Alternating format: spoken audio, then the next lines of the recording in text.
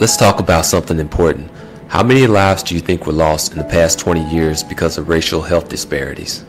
From 1999 to 2020, black Americans experienced 1.63 million excess deaths compared to white Americans. That's not just a number, it's a million plus stories cut short.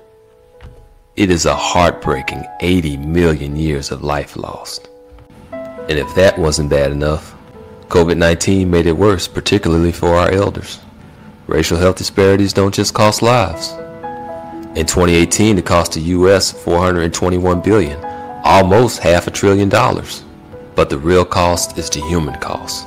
Mental health takes a hit too. Black Americans are more than three times more likely to be slain by police than their white counterparts. Our youth are disproportionately affected by blast violence hurting their mental health.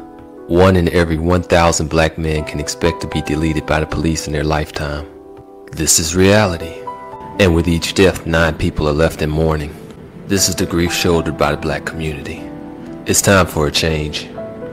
For a narrative where skin color doesn't determine your health or lifespan. Let's rewrite this narrative together. Let's heal together, because together we can change the story. Thanks for your time, and if this touched you, like, share, and subscribe.